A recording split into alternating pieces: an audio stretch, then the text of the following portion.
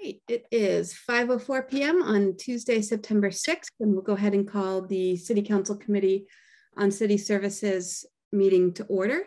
A note that this meeting is being audio and video recorded, so both the meeting and all who are in it um, are being audio and video recorded. Um, and first up on the agenda is public comment. So if there are any members of the public here who wish to speak, um, you can go ahead and raise either your actual or virtual hand and we'll do that.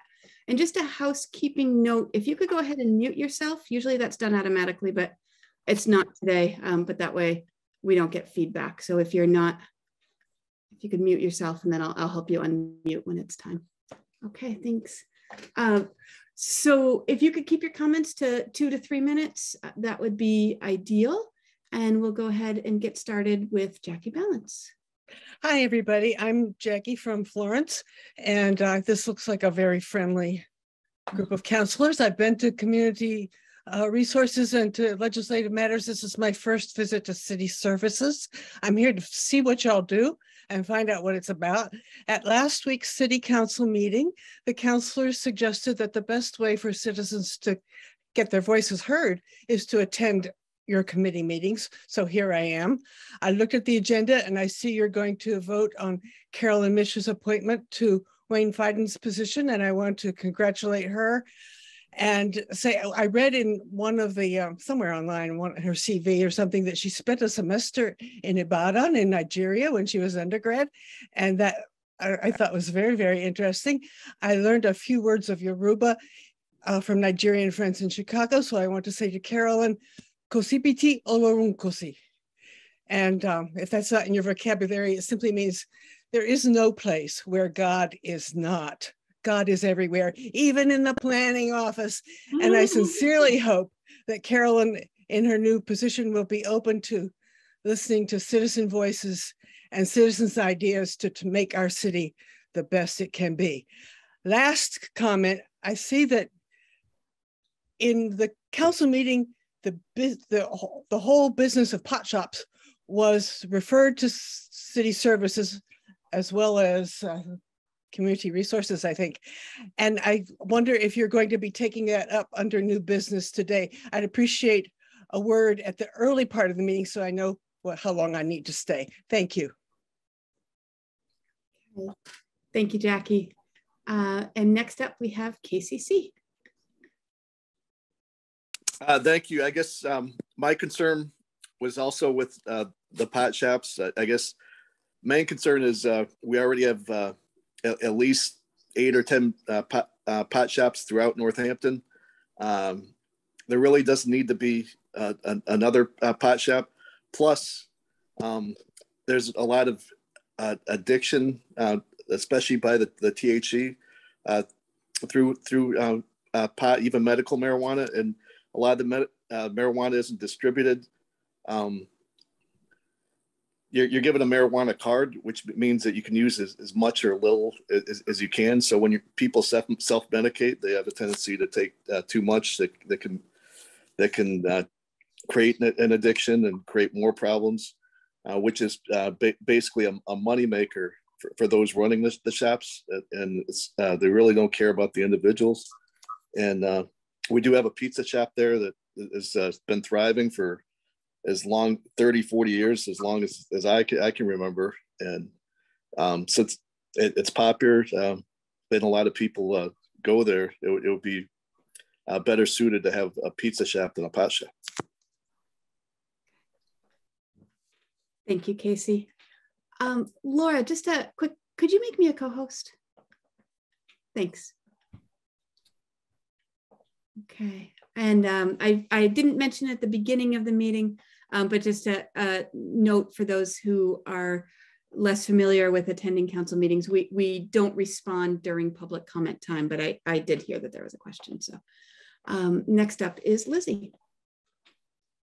Hi, thank you for giving me the opportunity to speak this afternoon. Um, my name is Lizzie. I'm a sober marijuana addict of 15 years. I know firsthand how pot smoking can slide into tortured addiction. And I think one of the most dangerous things about the huge saturation of dispensaries in our communities, it sends the message that it's not addictive and it's not harmful when it's just as addictive and harmful as alcohol. If you're somebody that can enjoy a glass of wine with dinner, that's fantastic. I'm not. If you're somebody that can smoke a little pot on the weekend and move on with their lives, that's fantastic. There are thousands in this community that are not. Um, from the outside appearances, when I was actively using, I looked like a high functioning, intelligent young woman that had everything going for me. On the inside, I could not function or leave the house without getting high.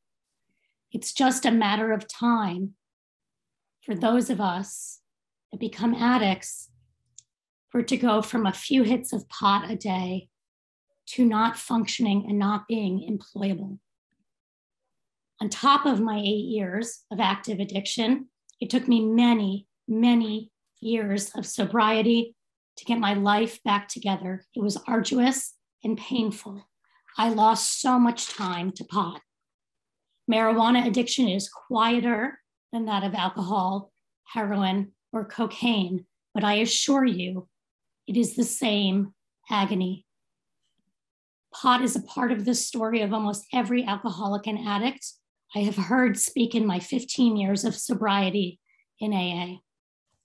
In those 15 years, I have heard thousands and thousands of alcoholics and addicts speak, and almost every single one has pot as part of their story. There is nothing like an insider's view, which is why I have broken my anonymity to speak to the government of our city. I can't imagine how anybody who is addicted or dependent on pot in Northampton could hope to get sober here with 12 dispensaries and counting. It went from being one of the best places to get sober to one of the most dangerous places to try to stay sober and one of the most difficult places to stay sober. We talk about it in AA meetings incessantly, over and over and over again. People talk about their struggles with the numbers of dispensaries. These are all people just like me who voted for it to be legal. Thank goodness it's legal. We do not need 12, most of which do not provide medical marijuana. Only a small handful do. That means their only business is helping people get inebriated and taking their money.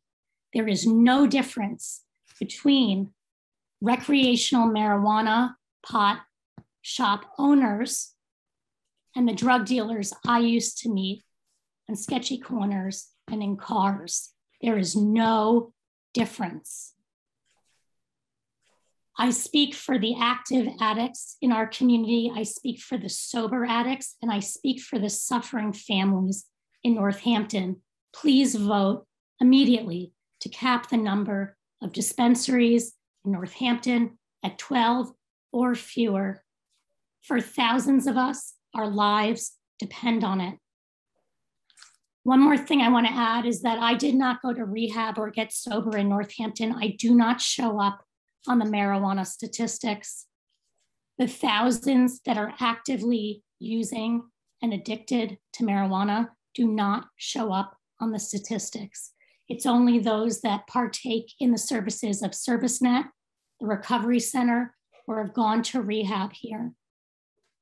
Most of us fall through the cracks of those statistics. We cannot be quantified. Please do not forget about us. We have everything on the line. Thank you. Thank you, Lizzie. And then I see Ananda. Ananda.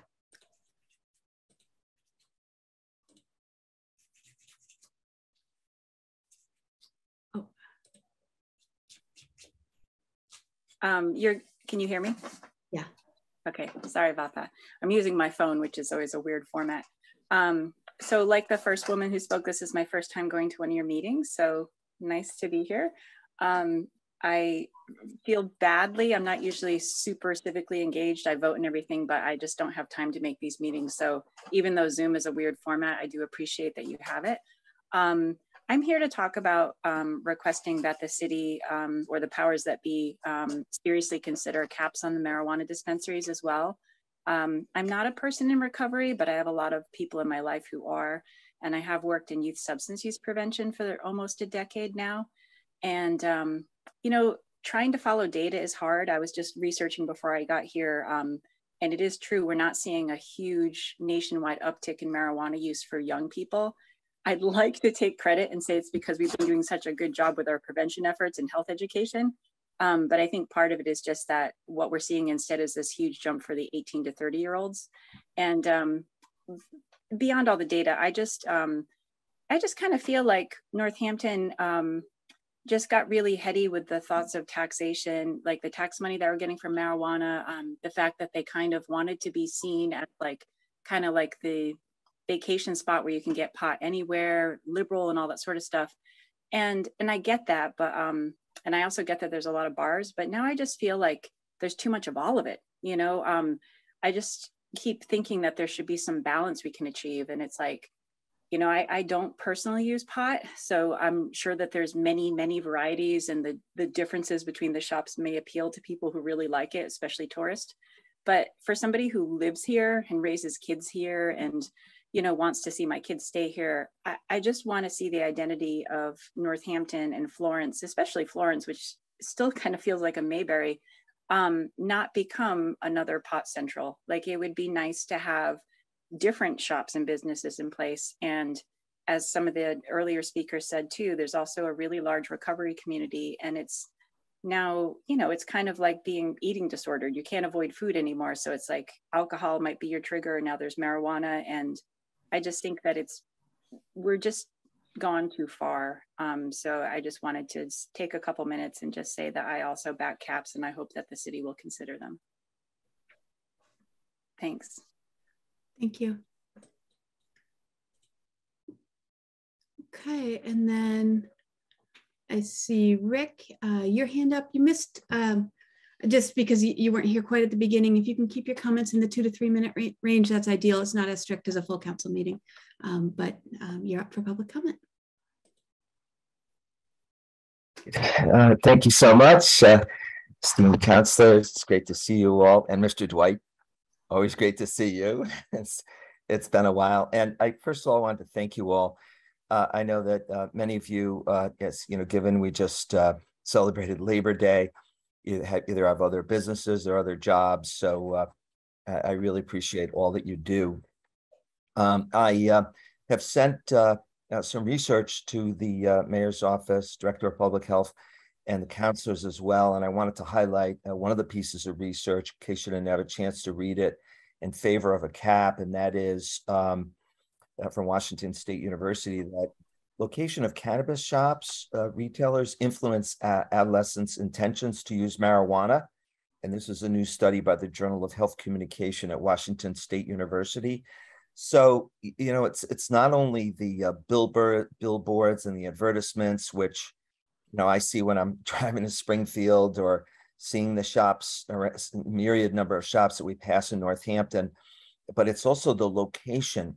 And uh, many of these uh, shops are around, you know, residential neighborhoods. There's one proposed in Florence that's um, um, a few hundred feet from a, a DMH CSO after school program. And as we mentioned, the ice cream shops that the walking traffic, you know, comes right by uh, the pizza factory location. So, um, and and that shop happens to be a a, a, um, a recreational marijuana facility where a lot of people are thinking, oh, gee, I you know I don't have to go downtown to get my medical marijuana. My understanding is they cannot, but there are delivery services and uh, lots of other ways for people to get uh, cannabis.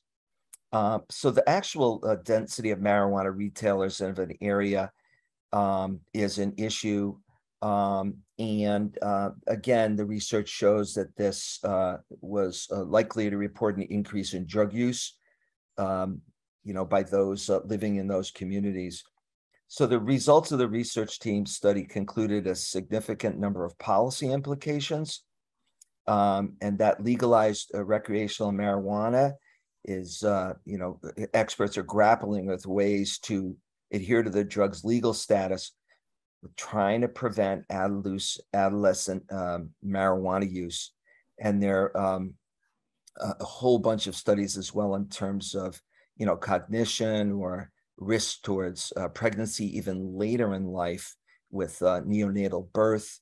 Um, so lots of reasons why uh, adolescents, teens, even now or later in life who might uh, struggle with anxiety and depression uh, can uh, have decreased either mental or physical, physical, whoops, sorry, I can stop that, physical health as well. So the findings particularly relevant given that most states have legalized recreational marijuana, have not restricted their proximity to neighborhoods or living areas, which may be particularly challenging. Um, so uh, I appreciate that this uh, cap issue has uh, gone to committee and a number of committees, and I want to encourage the council to further this uh, discussion and bring it to a full council vote. And I want to thank you so very much for your time, as always. Okay, thank you, Rick. Okay, is there anybody else here that hasn't had a chance for public comment that would like to participate? You can either raise your hand under the reactions tab or you can wave it and I'll look. Okay. Oh, yes. Um, I'm, I'm, I'm working on how to re refer to you. I will refer to you as Bill Dwight. You have the floor. With the one second, unmute you. That you just call me that guy. If it works. that um, guy. I, am sorry to jump in the last minute, but I I, I want to say rah rah rah, Carolyn Misch. I'm really psyched at the possibility of her being our planner, uh, continuing a legacy of of, of conscientious uh, planning that has seen Northampton flourish as a result. Carolyn is part and parcel of that, and I'm really glad that you're considering her, and I and I hope that God you you approve her. So, and then I'm here to testify. So on another item, so I'll I'll bow out. Thank you. Thanks, that guy. Okay. Um, is there anybody else that wanted to participate in public comment? Okay, so seeing none, um, committee, if you'll indulge me, I'd like to take some things slightly out of order because we do have guests and I'd like to, to honor their time tonight. Um, but before I do, I wanted to respond because there, there was a question that came up and I'm, I'm hearing just a, a slight turn of phrase regarding what's on the agenda for the committee meeting this evening. So just wanna clarify um, and be able to answer that. We did at our most recent city council meeting on tonight discuss that the uh, city council committees can have a role in discussing the potential for a cap. There isn't a specific agenda item, although that can certainly come up during new business.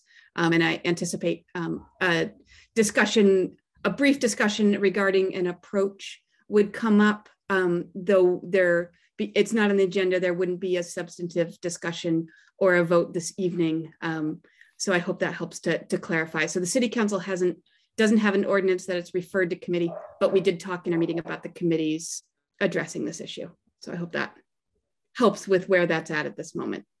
Okay. Um, then what I'd like to do is move on. Um, I'm going to skip or circle back to number four a little bit later on and take up first um, item five, which is the appointment of Carolyn Misch as Director of Office, Director, the Office of Planning and Sustainability. This was referred by City Council, a process note for those that are less familiar with the committees. The City Council Committee on City Services approves appointments um, to city boards and commissions and department heads. So the mayor's office does the search and has the search committee and makes the recommendation and then the city council is responsible for confirming those appointments. Um, so um, we, we were talking very briefly, we noticed there may have been a, a brief oversight in August vacation agendas and um, we missed the mayor being here to introduce Carolyn Misch as um, her choice for director of the Department of Planning and Sustainability. Although, as we've discussed and as we heard from former Councillor Bill Dwight, um, Carolyn is, is no stranger to the city of Northampton. Um, I did have a chance, I can just um, sort of briefly generally talk about the search process. There was a um, open nationwide search through um, the channels that people seeking jobs as to, through city planning and as um, department heads in city planning um, would seek out. Um, so there was a national search. The search was um, extended. Carolyn is uh, one of the candidates who applied and as the now former assistant director of planning and sustainability um, is someone whose background and resume and experience and knowledge of Northampton, um, according to the members of the search committee I talked to, um, rose above. And Carolyn was a unanimous choice from the search committee um, and is the mayor's recommendation um, to lead the Department of Planning and Sustainability moving forward. Um, so the process here is that counselors have a chance to ask questions um, and weigh in. But before we do that, Carolyn, I wanted to give you a chance to see if you'd like to address the committee um, before I go to counselors.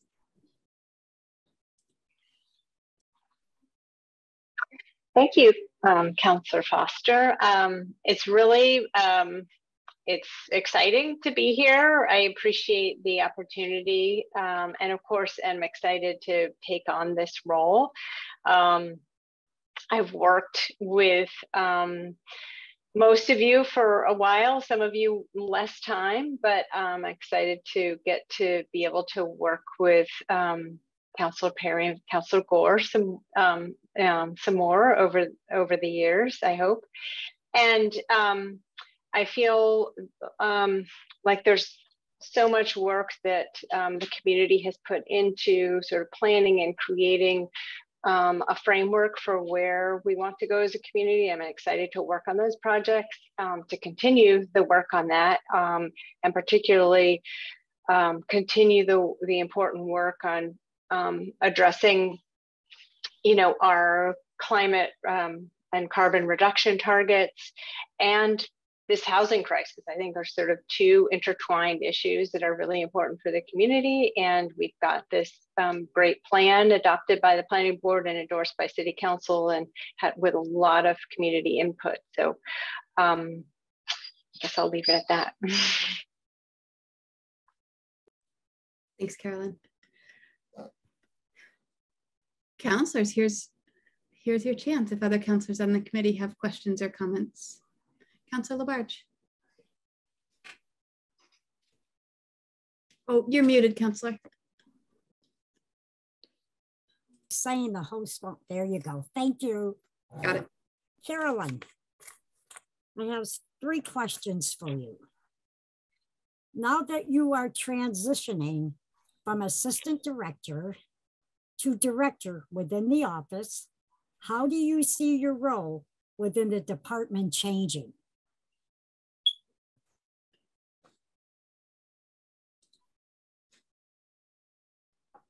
Um, so I, I, think that um, on the one hand, um, I think it'll be perhaps an easier transition than um, coming at it, you know, brand new because I'm already very familiar and have been working on a lot of the projects in the department. I think the um, biggest shift will be sort of into more um, project management and personnel management, um, which uh, which I've done a little bit in the past um, through my years um, with the city of Northampton.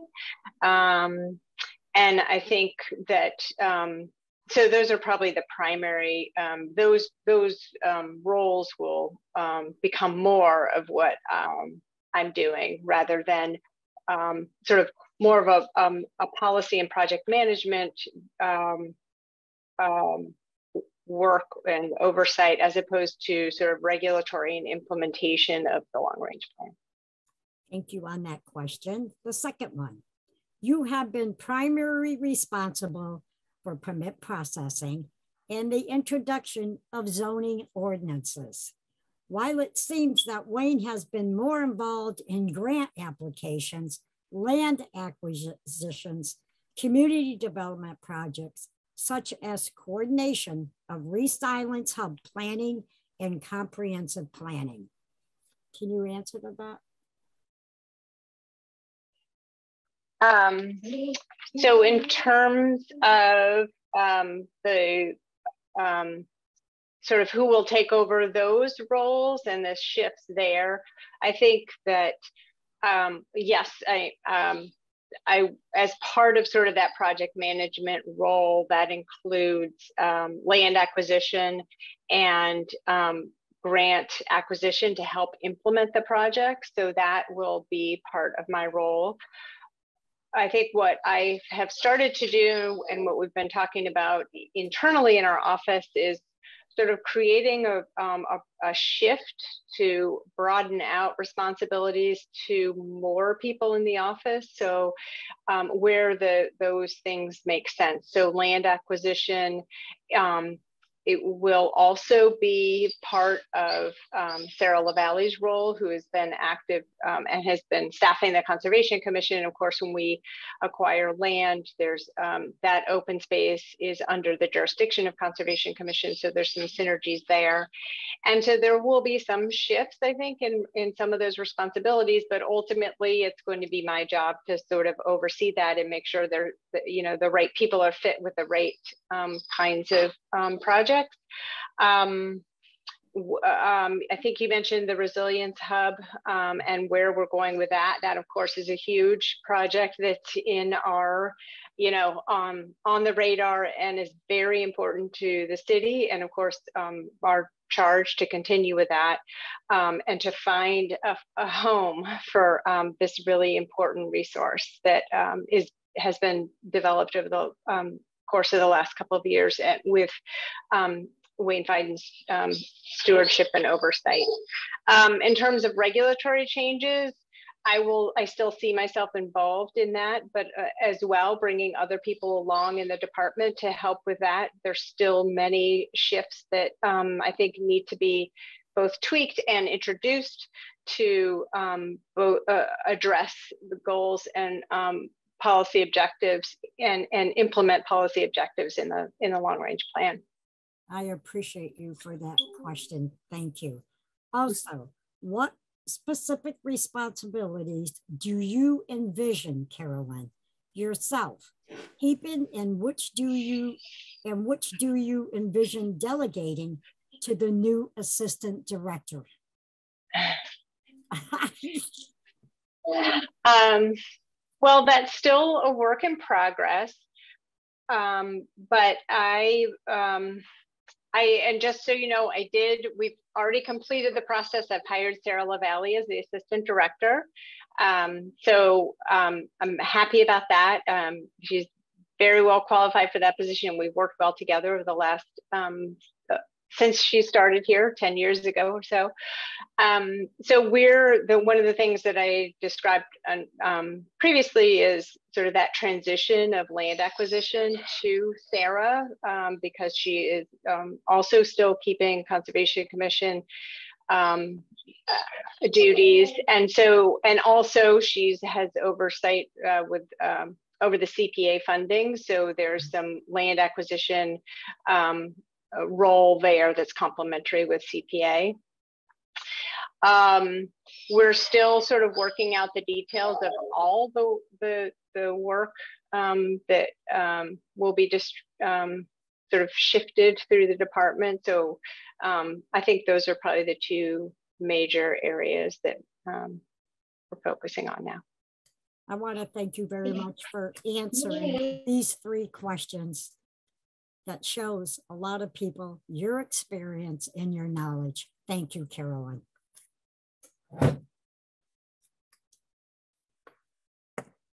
Councilor Gore. Hi, Carolyn. Um, just a quick question about um, just wanting to know what projects are coming down the pipeline that you would feel excited about working on or any projects that Wayne Feiden had worked on that you're excited or super interested in working on? Sure, absolutely.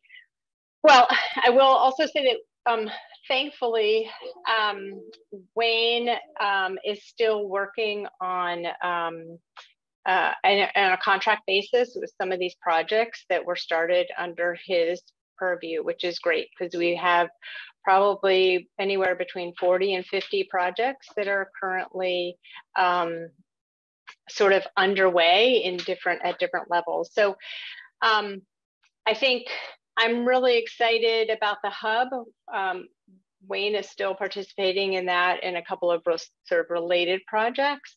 Uh, I think that will provide an enormous benefit to so many members of our community, not the people who would necessarily be using the hub, but also um, our downtown businesses and and um, and provide you know needed services in that connection to um, resources that um, so many folks in our community um, need. I think um, it's really important to continue the work on making transportation connections, um, um, multimodal or um, um, non-vehicular transportation connections throughout the city and particularly in places where um, neighborhoods that aren't connected right now with um, either bicycle paths or sidewalks. Um, and so we've got some grant projects out there that are underway or that are in the pipeline to be um, designed and constructed. And I think that's really important for um, allowing greater access and mobility for people of all ages in the community. Um, I think that um, you know, again, I talked a little bit about housing. I think housing is really um, a critical point that we, we need to talk about as a community and providing housing. We have a housing gap. I think I've talked in in many different forums in front of city council about this, the number of units that we need at sort of all income levels. And um, I think that's um, critical for not just for providing a place for people to live, but also it, it ties into our um, economic development um, capacity, our um, who we want to be as a community if we're pro to provide housing for all the people who need housing. Um, and um, it's an equity issue, and I think we need to address that as well.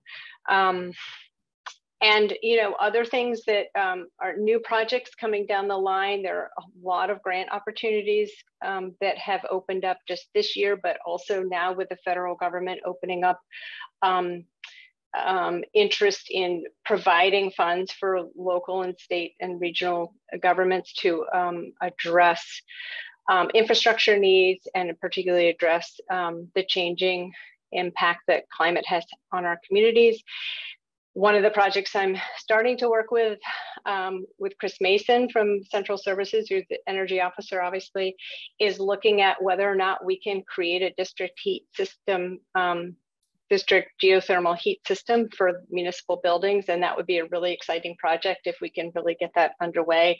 It involves, um, you know, a lot of that is in Chris's wheelhouse, um, but it connects to sort of our goals in um, the plan, but also if we can connect it to some new affordable housing opportunities, I think that would be really um, an amazing project to be able to tie in. And it, and it sort of fits all the um, goals and objectives we have as a community to um, get off of um, um, um, fossil fuels in terms in, for a heating system and also bring our municipal buildings off of uh, fossil fuels. Thank you. Council Perry. Thank you. Uh, first, I want to, sorry about that, congratulate Carolyn on this appointment. Uh, though we've not known each other for long, the brief few times that we have met and talked, I really enjoyed our conversations and your passion and understanding about Northampton and its uniqueness. And so I just have, I have two quick questions. Um, and the first is I, I, know there's a lot of changes coming in the near future with our downtown um, and Main Street um, redesigns. And so I was wondering if you if you had a vision or what, what do you think your role in that or, or what your excitement level of helping to guide that is going to be? Sure. Um, you know, it's funny. I should have named Picture Main Street as a really exciting project to be working on too, because that's front and center. That'll affect everyone. Um, so thank you for bringing that up. It's not that I don't think it's not important. It's just there's so many fun things that are going on in the city.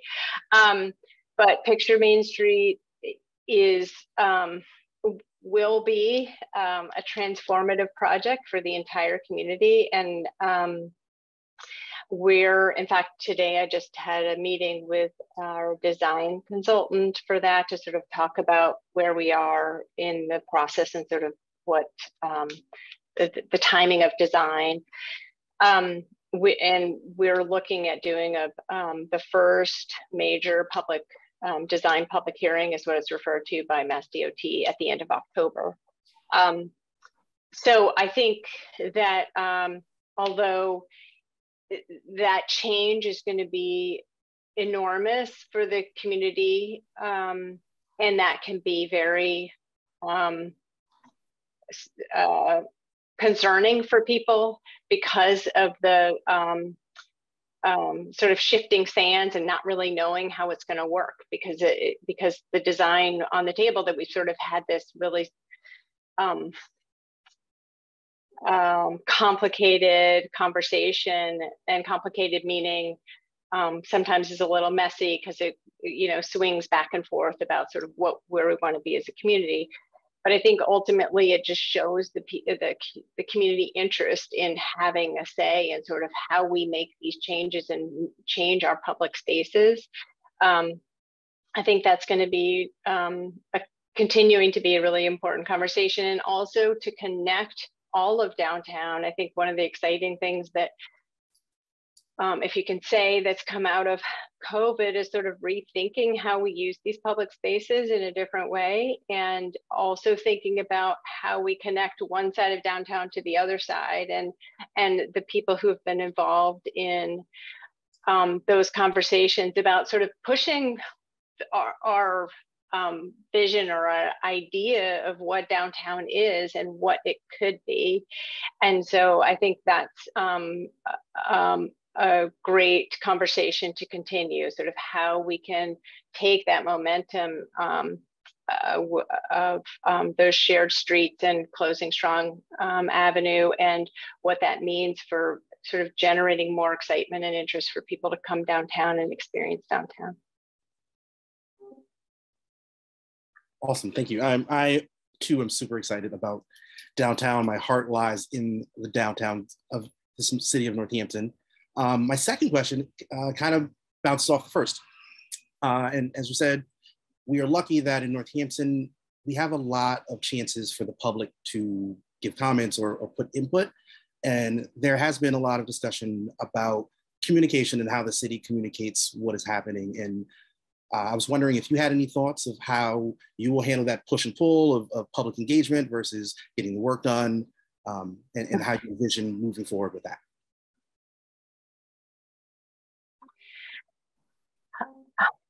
Um, there, I, I don't see any significant, I mean, I don't, I don't see um, significant changes, I guess, in the way that um, we necessarily um, would um, engage public comment. I think it's all, I think, um, I think we've done, we've made a big shift again because of covid. We've opened up new opportunities for people to at least listen from if they can't physically be in the same space as where a public meeting is being held. And i think that's really valuable.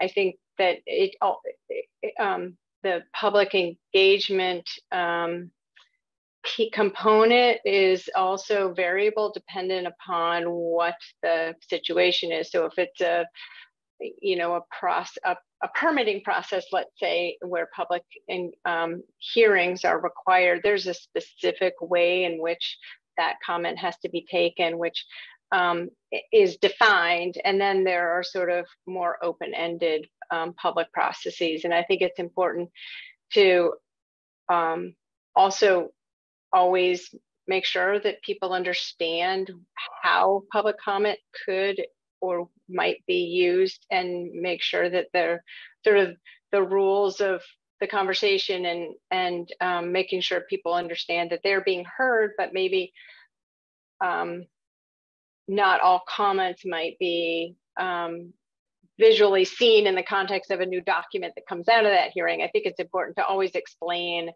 sort of um, what it means when you participate and how that participation is going to be um, included.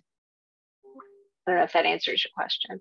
No, fine. It was, it was, just kind of opening it and wondering. Okay. Uh, and thank you. That, that's all my questions. Again, I'm so glad that for this appointment, couldn't think of anyone better qualified. So yeah. Thank you. Councilor LaBarge.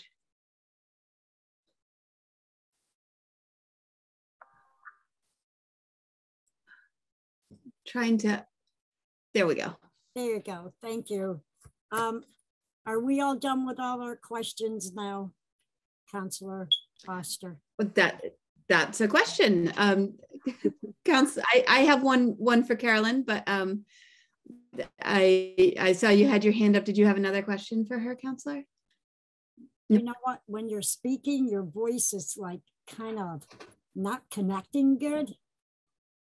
It's echoing. Oh, okay, and I don't have my headphones handy. Okay. Uh, sorry about that. I will um I will try to speak more clearly and closer. Is that better? Much better. Thank okay. you. All right. Carolyn, my question for you is um, you talked about housing, and I think that's a hot topic in Northampton, regardless. So many people are, are concerned about the, the just kind of broad increase in the cost of housing, as well as the lack of, of housing. Affordable housing isn't the word, but the lack of housing that many people who want to live in Northampton and work in Northampton could afford um, to rent or own. And I know that, you know, when we have these conversations around zoning um, and around planning, very often we're looking, people might expect us as a city or as a community to have authority and power that we don't have because of state law. Um, that through state law, we can't put um, you know certain limitations on the building of single family homes and things like that and i was wondering if you could just talk a little bit about um, what we can do as a community and, and what efforts we can make here in northampton and then also kind of where that pushes against um, some of the restrictions we have at the state level. Um, yeah so um, we definitely have, um, we've tried to um, walk a fine line in our in zoning regulations uh, to um, incorporate um, things that we want out of different types of housing. And as you said, um, we aren't allowed to um, regulate um, essentially what's referred to as building code type um, requirements under zoning. And so we don't have a lot of control of what the building code requires. So recently we've been hearing a lot about um, wanting to restrict the type of um, fuel source that is um, allowed to be incorporated in as part of a project and and zoning really can't do that. Um, but we've sort of worked a way around that by by requiring additional permitting, so so that it's a, a sort of um, a density bonus, if you will, sort of the way it looks in a regulatory perspective, and that way we can get some of the goodies that we want in terms of um, more building code type things.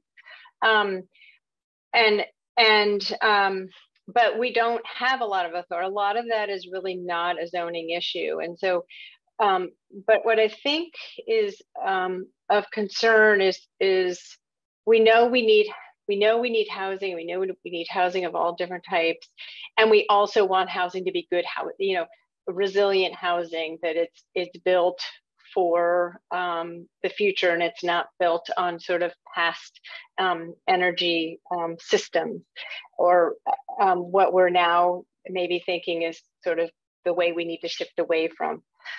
So, um, and and so I think um, sometimes there's that tension about saying, well, we have we really know we need this housing, but we don't want it that way, and so we're sort of in this transitional period, I guess, with some types of housing.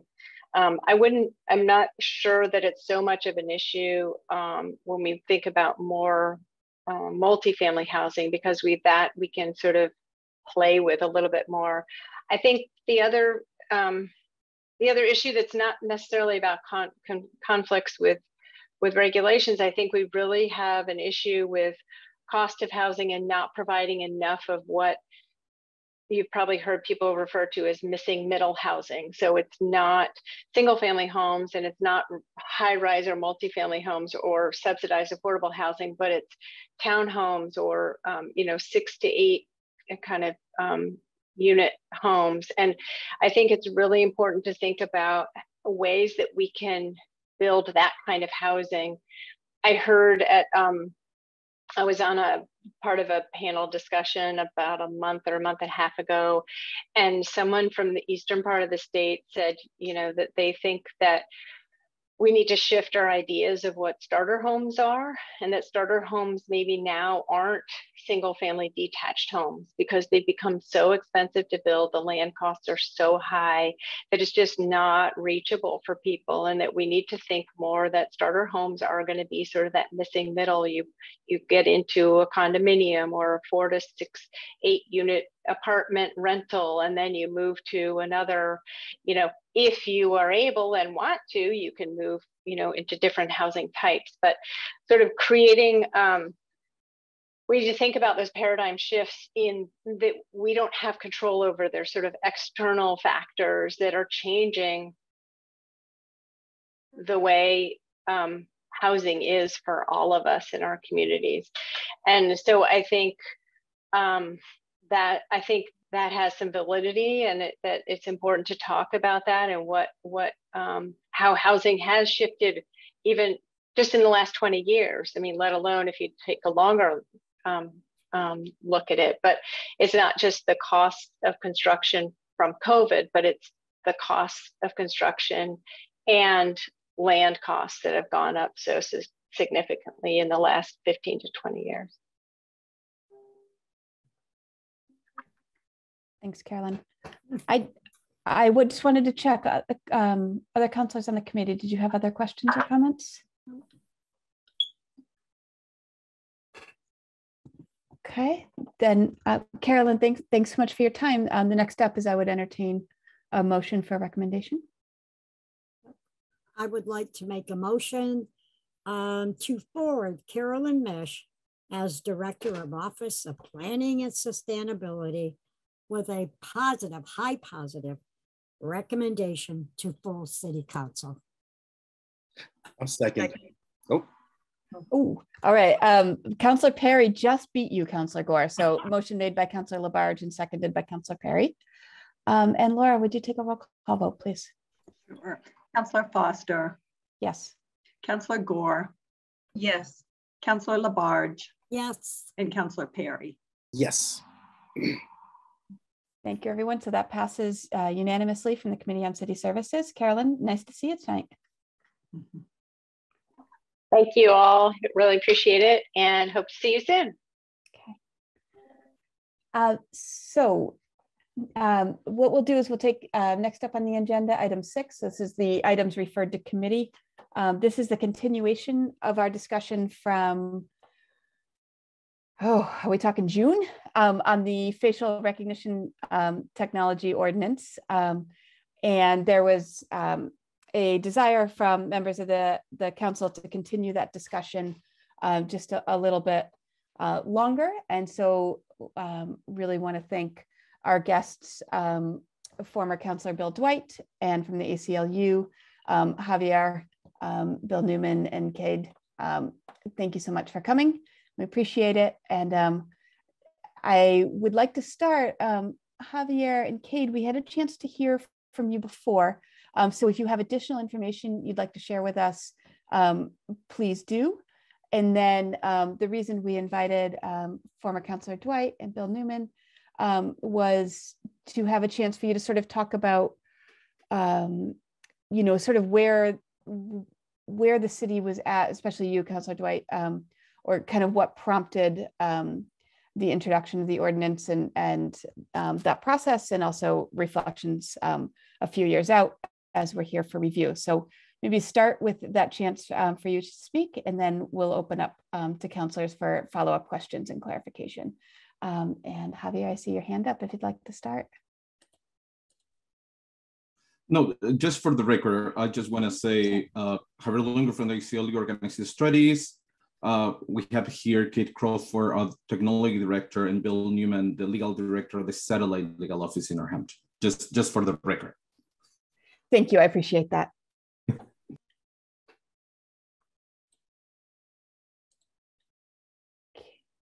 Kade, would, would you like to go ahead? And yes. am I saying your name correctly? Yep, I, it's Kade. I was listening to you, Javier, too. Okay, great. Yep. Um, good evening, everyone.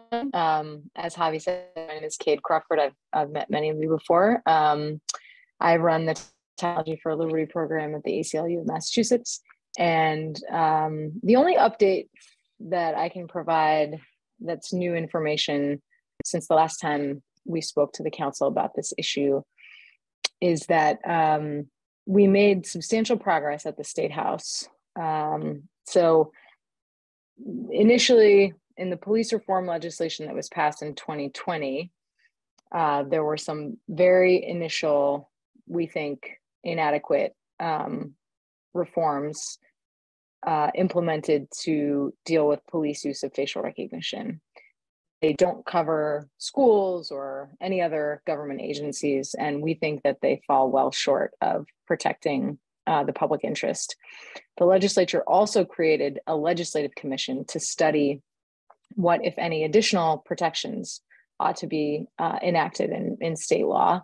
I served on that commission. That commission reported back to the legislature um, in the spring uh, what we think are really, really great recommendations.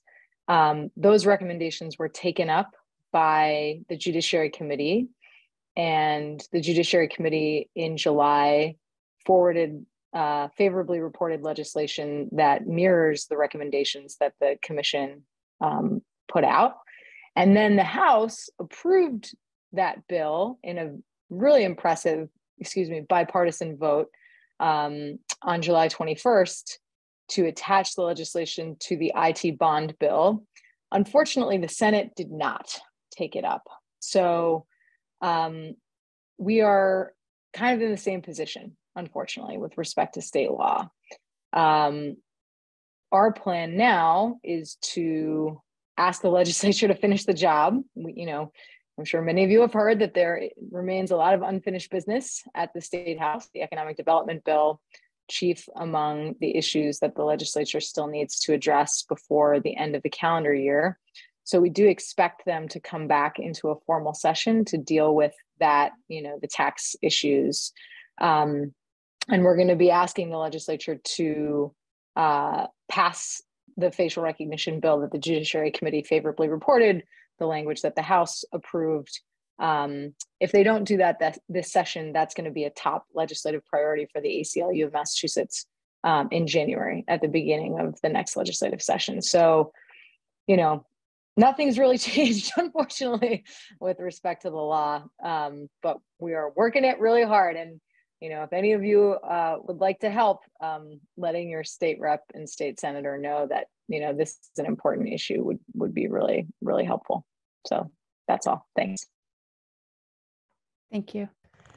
And former Councillor Dwight. Get you trying to there. Okay. Okay. Um, just to frame it, give you some context. Uh, the we I was originally approached by uh, Bill Newman, actually in the ACLU, um, suggesting that this be an amplification, essentially, of, of the ordinance that was hard fought to ban municipal oversight and use of any cameras. Um, we this was an issue that's I, I, personally, I think is um, ignored at our peril, to be honest. I think that when we uh, make these slow accommodations for uh, privacy violations, it, it, you don't put that toothpaste back in the tube. Particularly with the issue with the facial recognition. By the way, the reason that there's a three-year review in this, and you guys won't have to vote on it only unless you move to change it. but the reason for a third three-year review is because technology um, changes rapidly, as you can imagine. But uh, I think some of the people who voted in favor of the three-year review because of the technology were thinking it would be improved. My concern was that depending on where you sit, what counts as improvement. Um, one of my concerns is advances in biometric analysis. It's not just it's not just facial recognition. It goes to iris scans, to body posture, to composure, your ears, your eyes, everything that you allows you to open up your iPhone and then some. So as far as I'm concerned, that's not really an improvement. Um, that's actually a further intrusion. But the, the big concern with facial recognition, the one that actually generates the more appropriate heat for the conversation, is it has a built-in implicit bias that actually you know, I'm not sure why, but I would assume it's, you know, data in, data out. It depends who's doing the programming. But darker skinned women between 18 and 30 are substantial, like 20 to 30% more likely to be misidentified by facial recognition software. And then it ticks up a little bit better for men, dark skinned men. But it, this is software that favors light-skinned people insofar as that it's more accurate. I, again, how we use the term favor, I'm not sure that's particularly helpful either. So essentially my appeal is to the, the ban that we have is pretty straightforward. Uh, no Northampton government official will employ uh, facial recognition software. And if at any point this council or future councils consider uh, modifying this in any way, my hope is that they would be inclined to uh, be more robust and expansive in the, in the limitations. Thank you.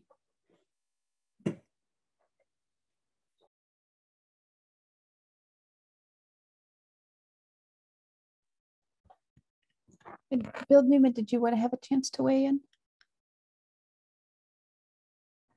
We'll, we'll ask questions as well, but.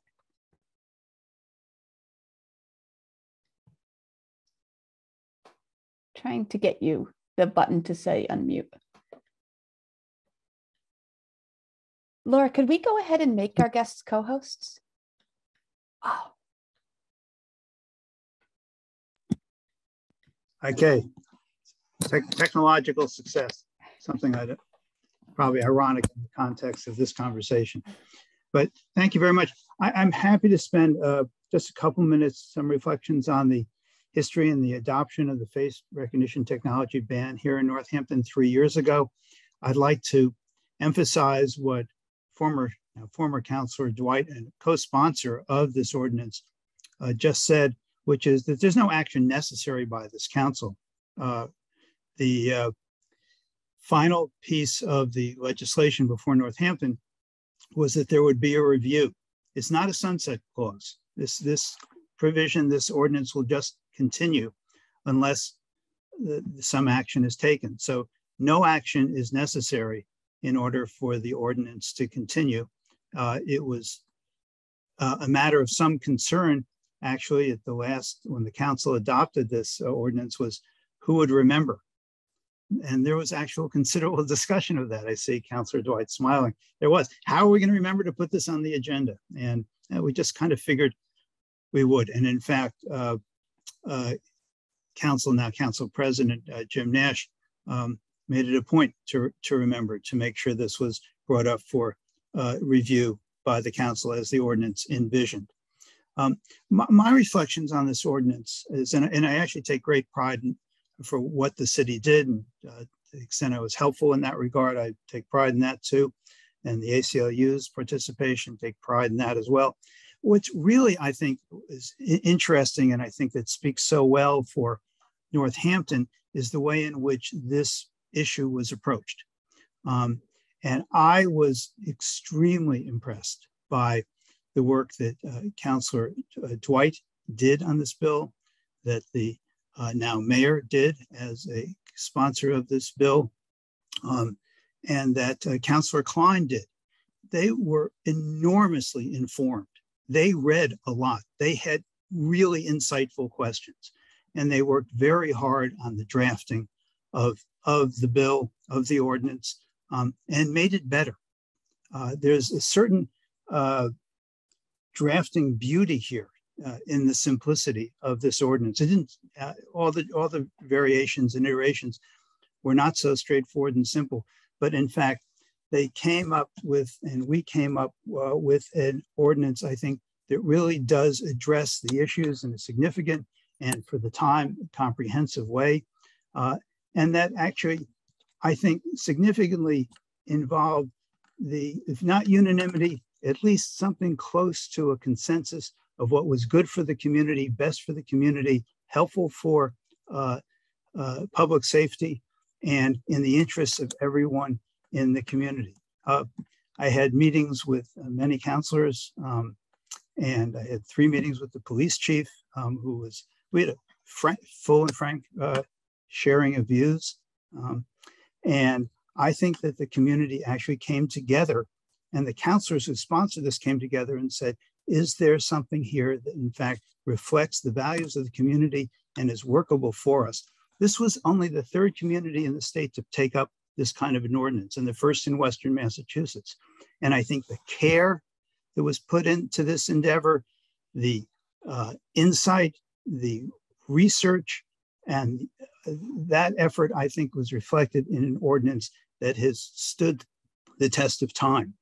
Uh, I, I, think the community can be proud of this ordinance and the council can be proud of this ordinance um, and that the fact that there is no, I think, necessity at this point to reform or change the ordinance uh, speaks well for that initial effort and the success that it has had. And I'd be happy to answer any questions if anyone has any with regard to the uh, process itself. But I want to thank the council for your consideration, for your looking into this again, and hopefully for allowing the ordinance to continue as it has been. Javier. Yeah, um, yeah, I'm, i just want to sort of, I'm not going to say again what Kade said or Bill said because I totally I agree with it. What I want to say, December 2019, was a pretty uh, productive month for the Northampton City Council. And specifically, if you take a look to the to two ordinances that passed that, that month, those two ordinances were um, sponsored by Councilor Klein, Councilor Dwight, and then Councilor Sciarra, which was the Welcoming City Ordinance in December 5th, and the ban on the use of facial surveillance in December 19th right? And you know that sort of shows how proactive the Northampton City Council has been in, in things in Western Mass that had become relevant, right? After Northampton would follow Easthampton, and after Easthampton would follow Springfield, banning the, the use of facial surveillance technology by any city department, right? Um, and we already mentioned the last time that we talked about this, the fact that the language of the Welcoming City Ordinance um, influence high, uh, greatly the language of the ban on the use of facial surveillance, which is, you know, the, the fact that the position of the city stating that the city council cannot tell city officers what to do or not to do, right? And that that's important to remember it. And what Jeff Napolitano and myself came out in that point was, you know, no city resources should be used in the acquisition, et cetera, et cetera. And I think that that's a, that being able to work that with Bill Dwight, being able to work that with well, Lisa Klein, with with uh, uh, the mayor Sciarra, that was that was extremely telling of the steps that then the, the city was taking in the middle of of uh, you know a pretty aggressive administration in Washington to protect people locally. And that sort of is, is a testament of that, right? We, all, we hear a lot in the advocacy that the ACLU does that, you know, there are matters that the federal government has to take hands on. But the reality, when we find ourselves in contexts such as the one that we find with the previous uh, occupant of the White House, Northampton was able to take a step forward and proactively uh, being able to protect their community and the residents.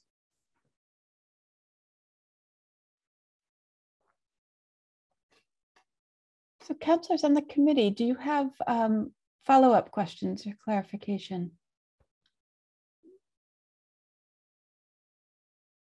Councilor Gore. Um, I, I think the ordinance is great and I think it does protect the community of Northampton. And um, I know that um, Bill Newman said that, you know, it could stay as is, but I, I wonder if three years later, if there's anything that you guys think technology wise or in any way that it needs to be more robust or anything like that. I mean, it seems fine as is, but I'm, I'm just curious about technology wise.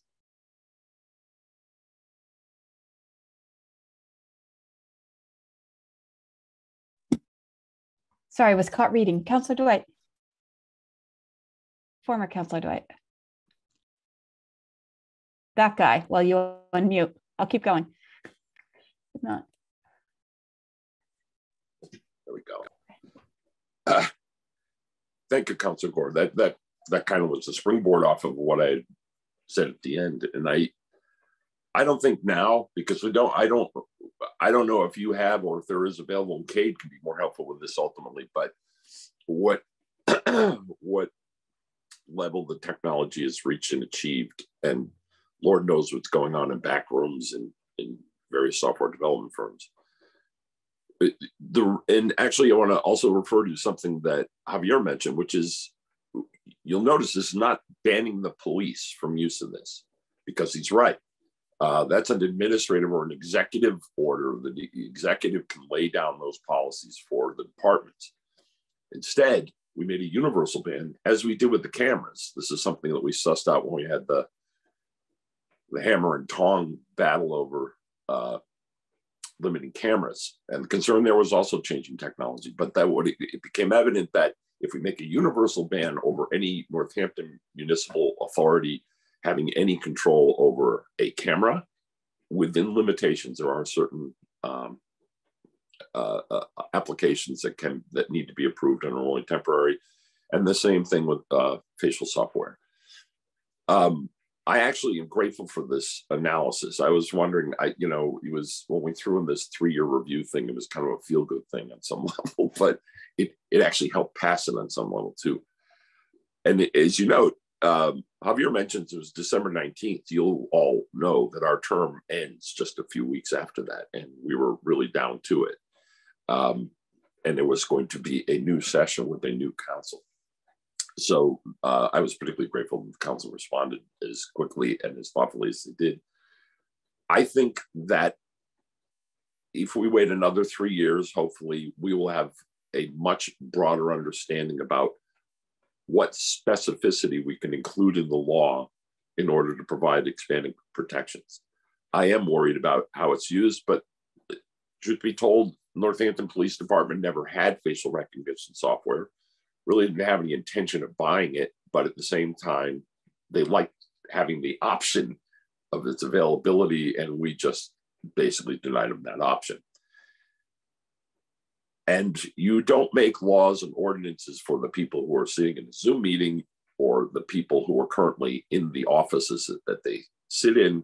You make it for some imaginary person. And, you know, who would have pictured Donald Trump as president of the United States at some point. So basically, you make the laws and hopefully they conform to them. So I think that was a long way of saying I think it's worthy of actually in the intervening three years, if you, and I'd be glad to help with this, commit to uh, a deeper analysis of this ordinance and see what we can do to strengthen it and make it more uh, sturdy.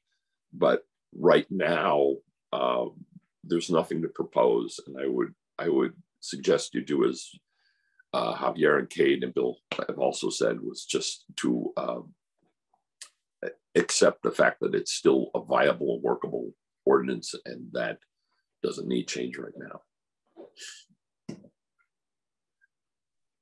Thank you. And Kade, did you want to weigh in? I was just going to say, no, I don't think that the ordinance needs to be amended in light of any um, technological changes at the moment.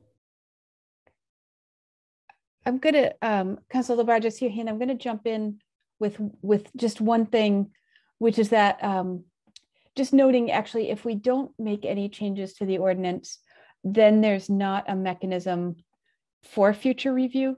So um, I, I just wanted to bring that up or hear from um, from others as well. If we just need to amend um, to to plan for a future review again as technology continues um, to evolve. So um, just wanted to put that on the floor and, and um, just because that was coming up. Um, yes, Bill.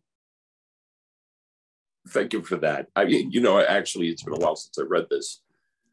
I thought it was every three years, but I guess it's not. It's only the first initial three years. So, um, but as Bill Newman pointed out in our original debate, we couldn't really figure out how you red flag something like that or get something to some kind of tickler that pops up so Laura or whomever gets to see that, hey, wait a minute, you this is something you guys have to do.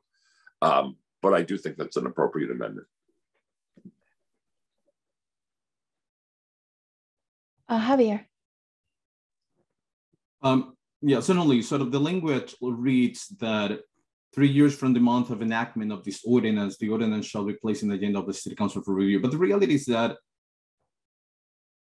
um, sort of uh, uh, that over there it's just a snooze right it's just for the first three years to come but that the reality the council has the power as a legislative body to bring any issue and any ordinance for review um so i i you know i wouldn't be worried about that specifically bill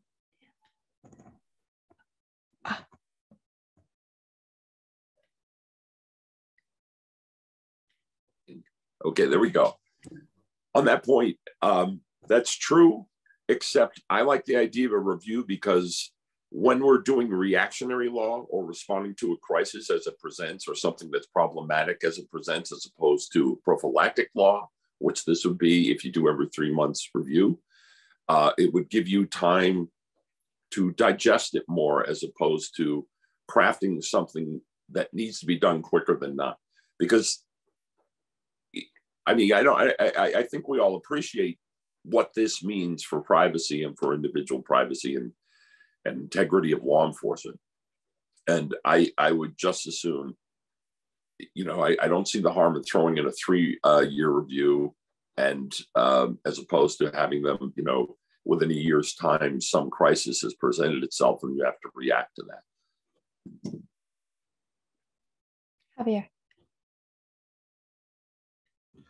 Yeah, yeah, yeah, yeah. I mean, if you see it through that lens, makes sense. And you know, if if the city council would opt into making sort of a, you know, a cycle of it, uh, that we would be okay with that, obviously.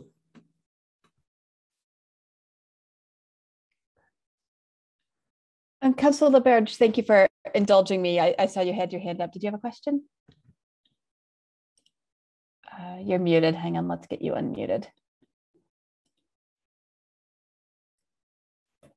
Thank you.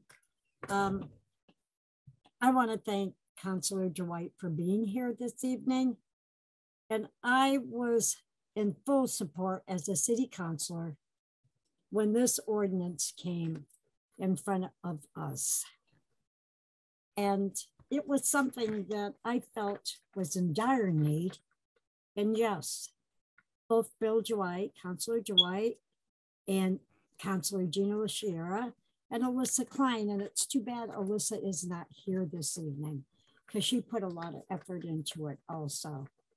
So I think we should leave it as it is with the three years and just see how things are going, how technology will improve and so forth. So I want to thank Bill for you being here and also for Bill Newman for being here.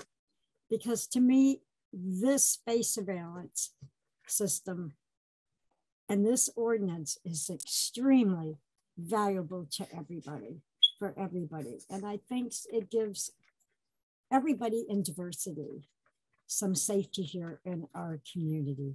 So thank you, Bill Dwight, for being here and Bill Newman.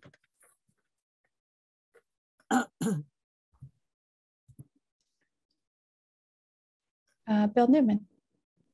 Yeah, 30 seconds just to emphasize that if this were to be adopted um, with this suggestion that has been made about a three re review, just to be clear when it comes from your committee, that this is in no way a sunset provision. This in no way requires any action. It's just for review because technology can change, but it does not require the council to do anything. And without any action, the ordinance will just stay in effect like any other ordinance on the books in the city. Yep. Thank you. Uh, so if I may weigh in for just a second. So it might make sense then, um, from what I'm hearing, to consider amending it. And the way it was written originally was just for a three-year review from the month of enactment of this ordinance, but perhaps to for three years. Yeah, to to work on language that would call for ongoing reviews if if three years feels like an appropriate time period. I Kade, maybe this is more your wheelhouse to think of what an appropriate time period it would be. Um, you know, and, and that's something that that we can consider. So not at the moment, what I'm hearing is a des- not a desire from the council or for the original um, people who worked on this ordinance to change the substance of the ordinance, but to consider just the review period. Um, I do personally, as a council, I find this discussion to be really helpful and particularly helpful in that we're not uh, facing a crisis, so to speak, that this is uh, uh preventative. And, and um, so would just love to hear your thoughts on that, Kade.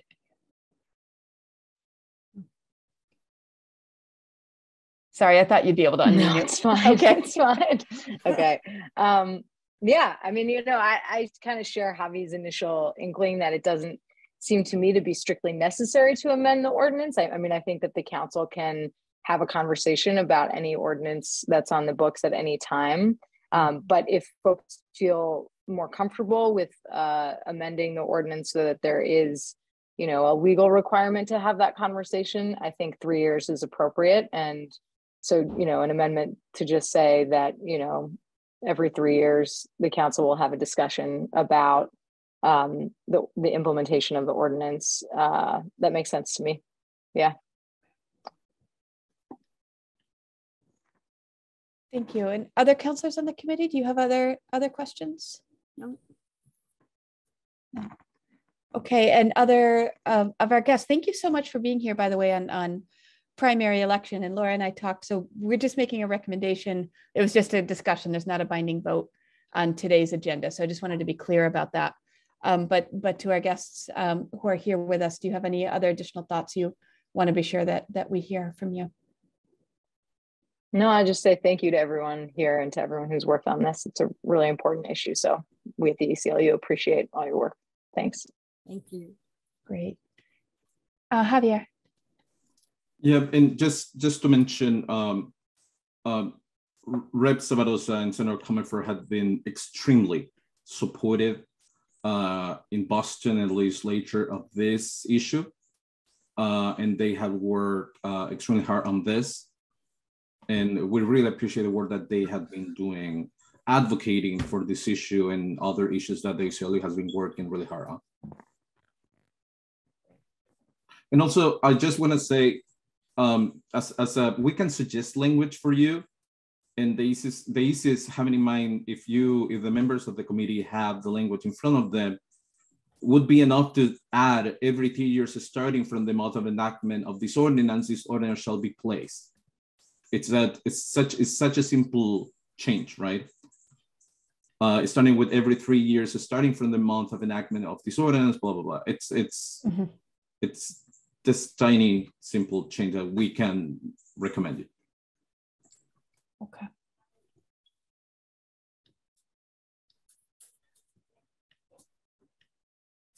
Great, and and actually, uh, I guess this this is a, a more of a process question. Um, Laura or Javier or, or Bill Dwight, you might be able to help with this. Um, to for a committee to recommend an amendment to an ordinance, do we just bring it back to council as is um, with the the previous sponsors and all of that, just with a, an amendment recommended? Okay. Mhm. Okay.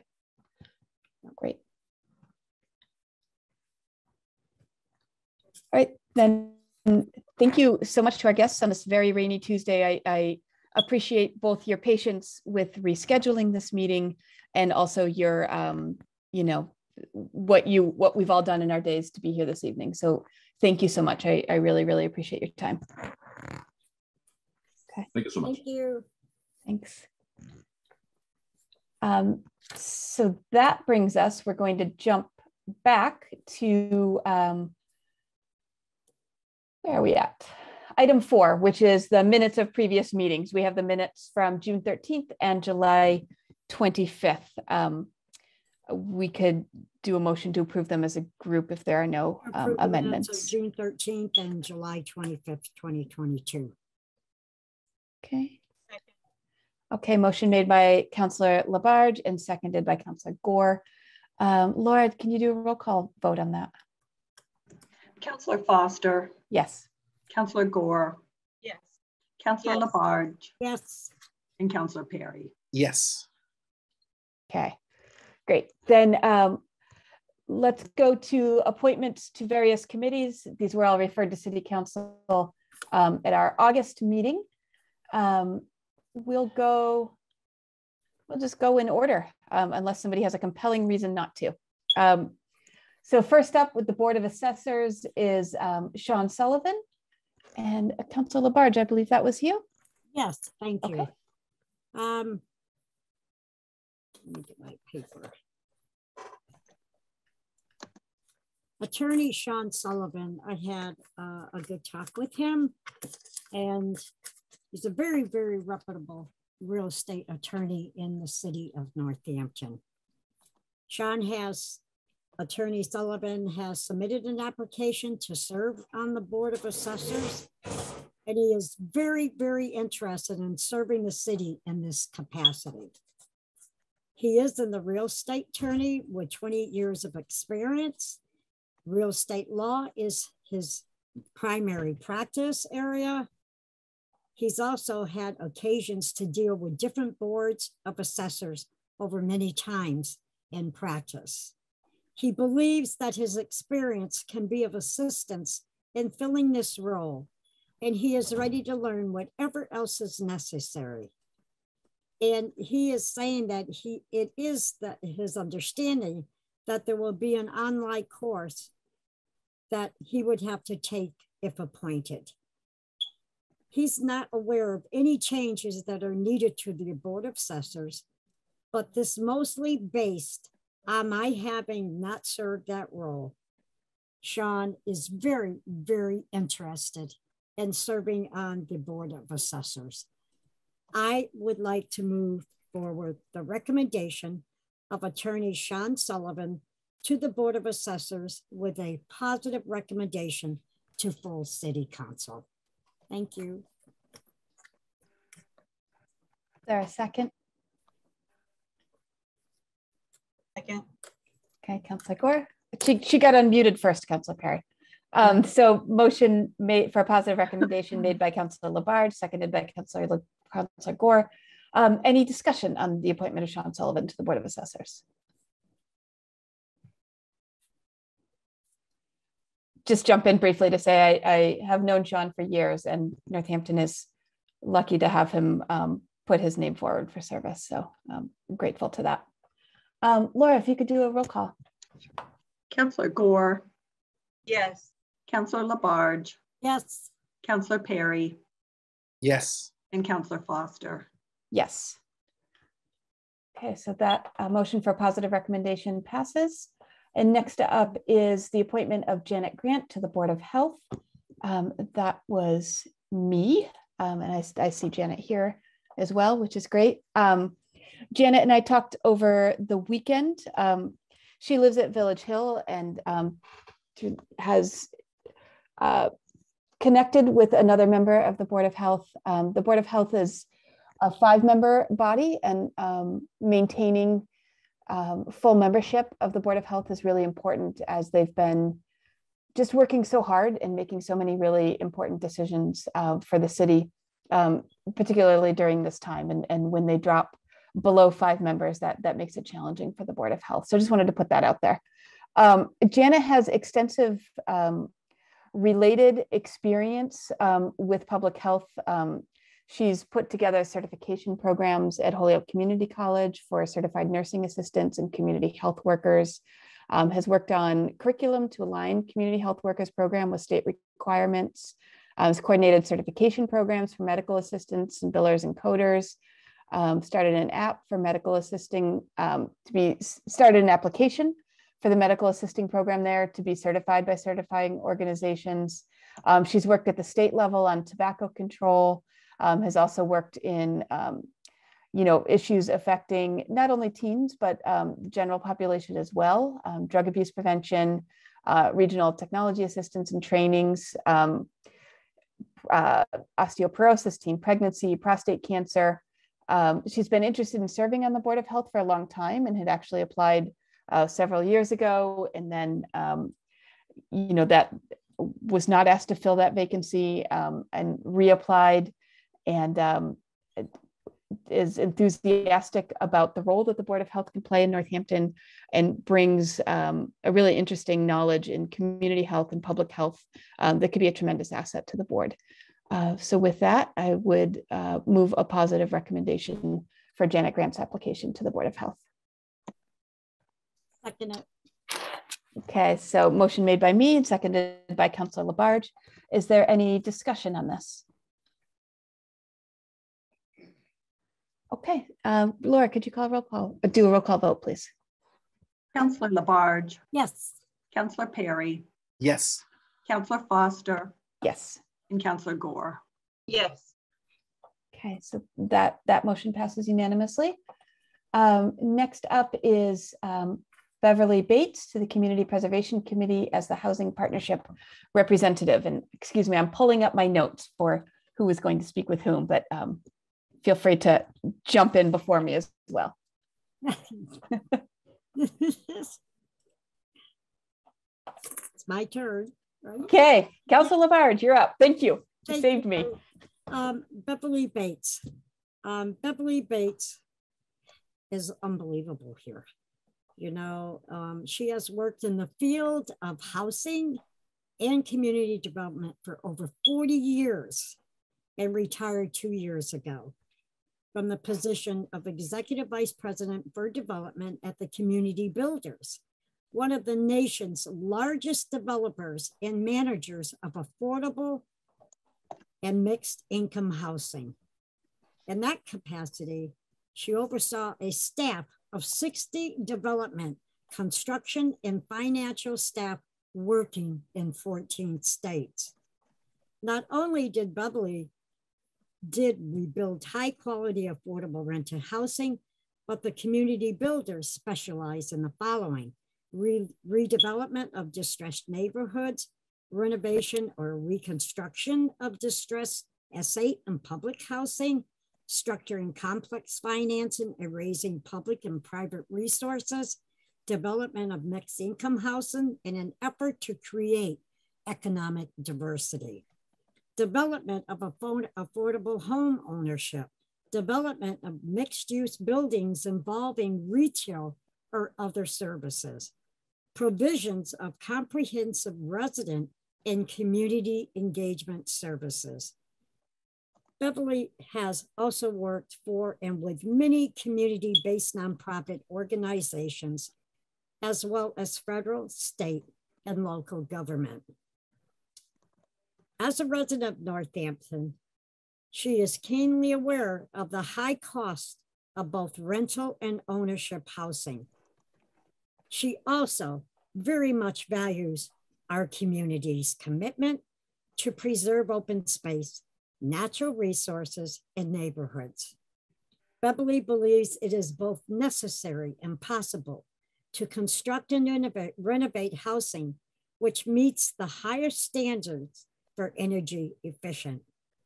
So finally, one of her reasons that she lives in Northampton is its commitment to equity and diversity. As a member of the CPC, she would contribute her many, many knowledge and experience to help and further the objectives of the Community Preservation Act and ensuring that CPA funds are spent in a way that leverages other resources and maximize benefit for the community. I also serve on the Northampton Housing Partnership and have observed the need for more collaborative by the numerous actors and organizations affecting housing and preservation activities. She looks forward to working together with all those players to help further a strategic and effective agenda for increasing the supply of affordable housing while preserving all that is wonderful about life in Northampton. I would like to make a motion to move forward the recommendation of Beverly Bates to the Community Preservation Committee with a positive recommendation to full City Council. A second. Okay, motion made by Councilor LaBarge and seconded by Councilor Perry. Is there any discussion on this? Okay, Laura, if you could do a roll call. Sure. Councilor Perry, Yes. Councilor Foster, Yes. Councilor Gore, Yes. and Councilor LaBarge. Yes. Okay, thank you. That one passes unanimously as well. Um, and next up is the Historical Commission with um, Greg and Councilor Gore. I don't know if you helped, if you got the pronunciation on the last name, De Debrandisi? Debrandisi, I think. I Okay, think Yeah.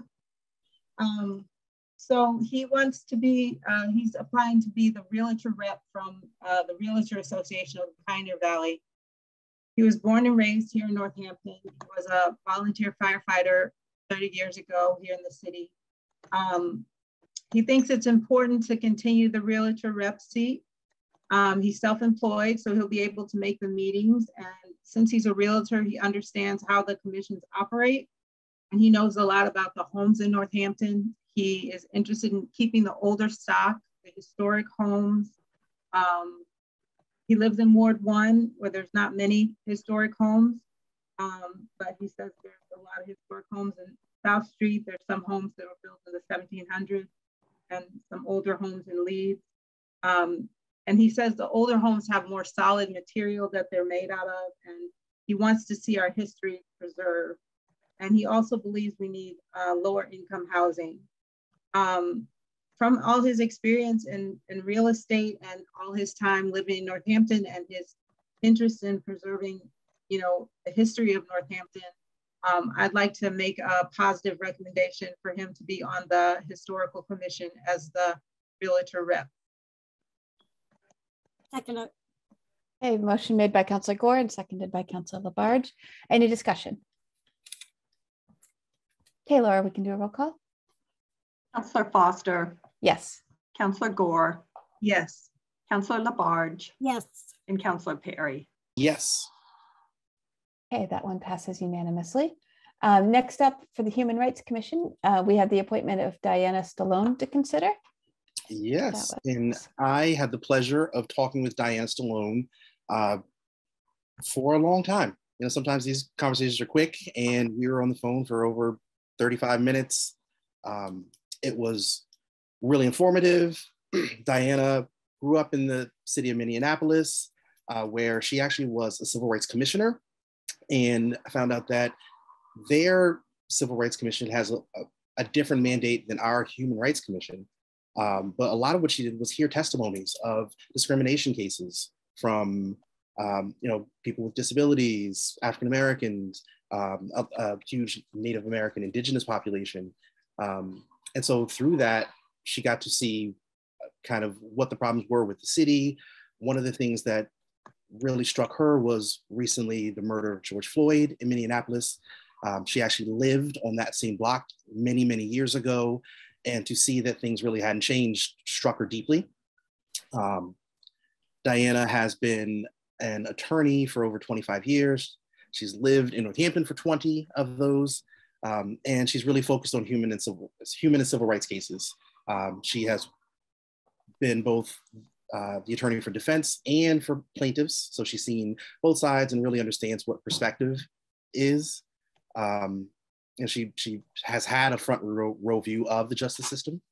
And the thing that really stuck out to me was that Diana is also an artist, um, and she made sure to to note that being an artist, uh, she understands that sometimes you need to have um, a bit of creativity and and that side of the brain to think outside the box and apply that to solving problems, which I feel really does fit in with the city of Northampton and our love of the arts and culture. Um, she decided to apply because she's looking to wind down her legal practice.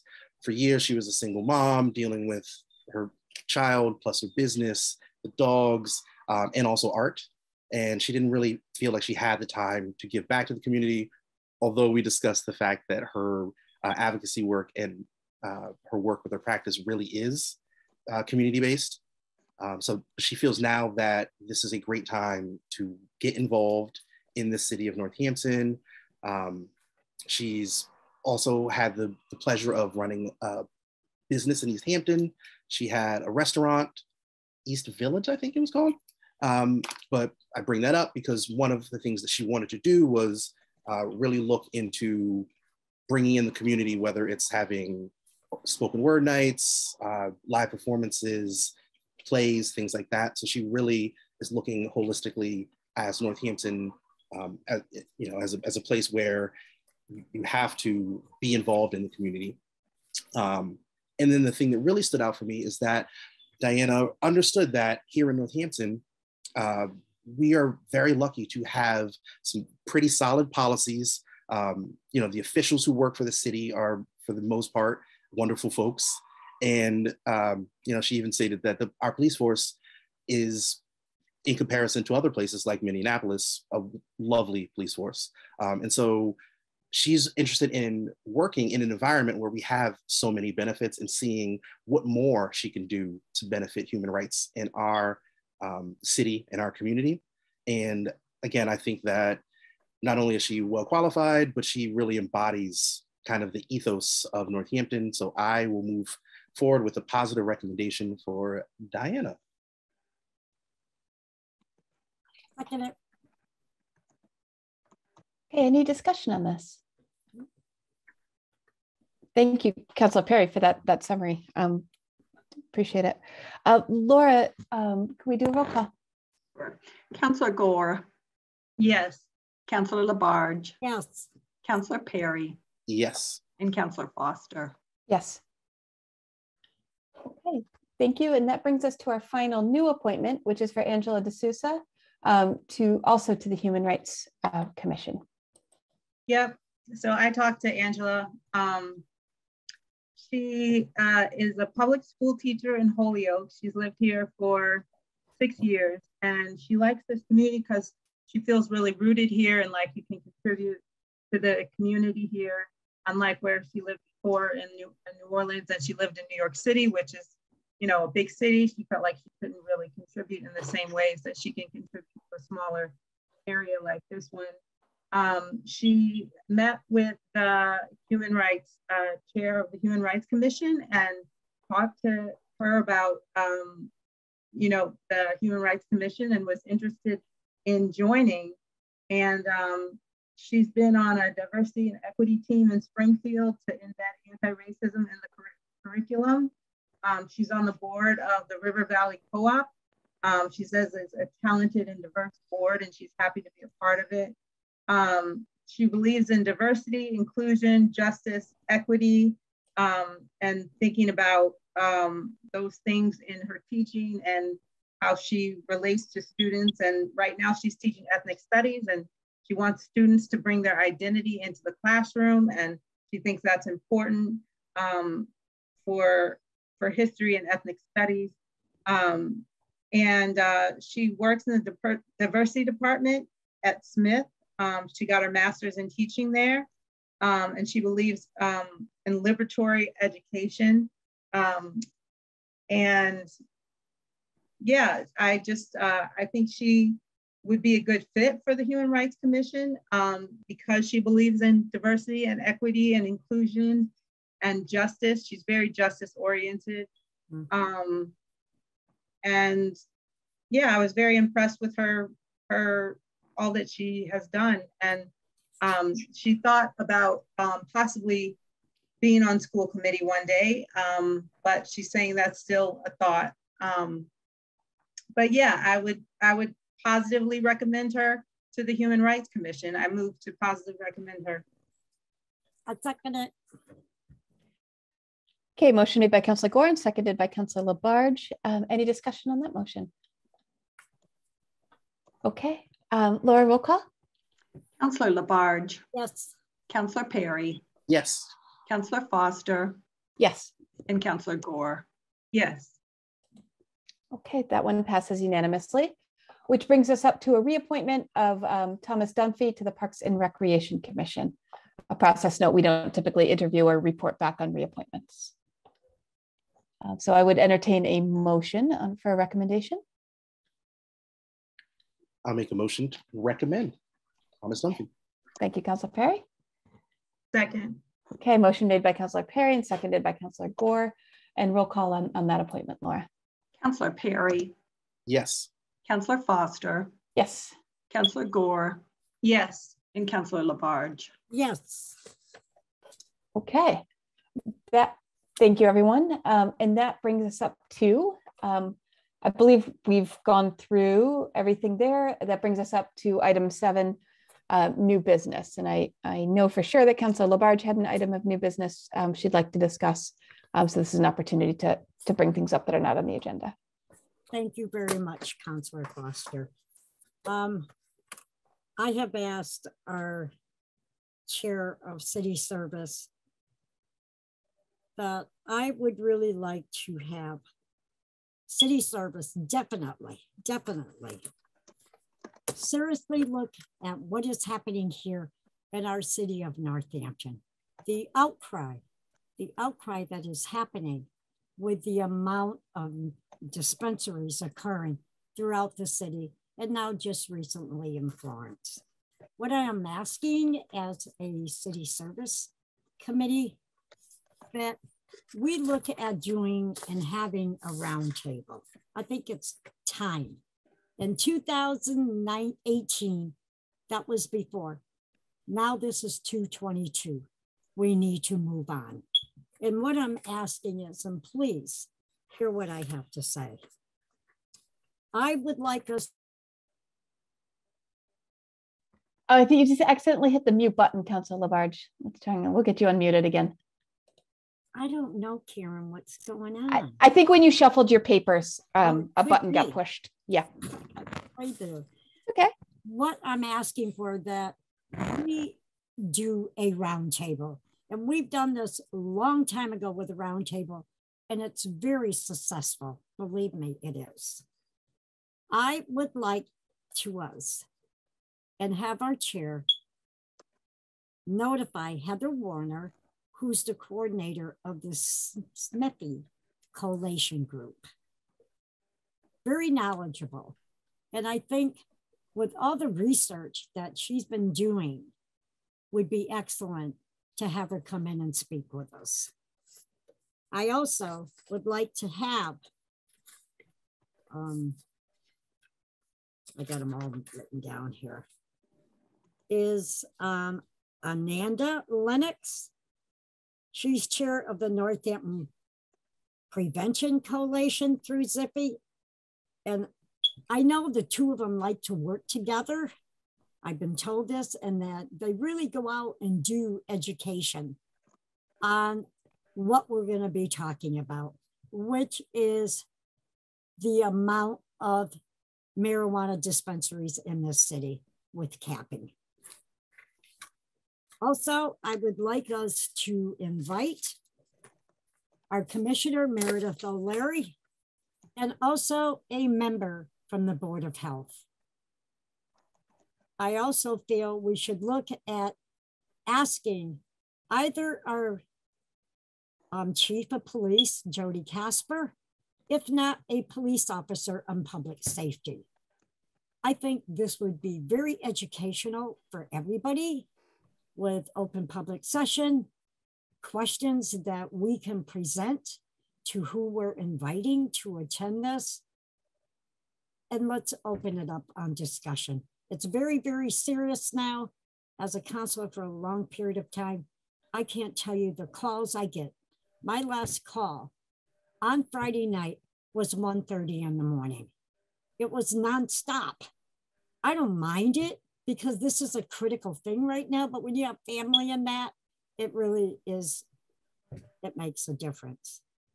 But please look at this very, very carefully because we are the legislative branch.